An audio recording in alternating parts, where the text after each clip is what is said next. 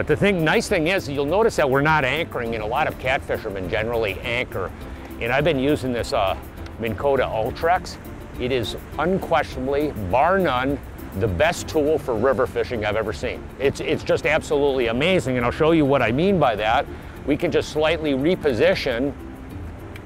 I'm gonna just move up here, and you'll see this is really relatively fast current in here. It's probably what, probably five, in excess of five, six miles an hour. And I hit the spot lock feature on the Ultrex and we're pinned in this position.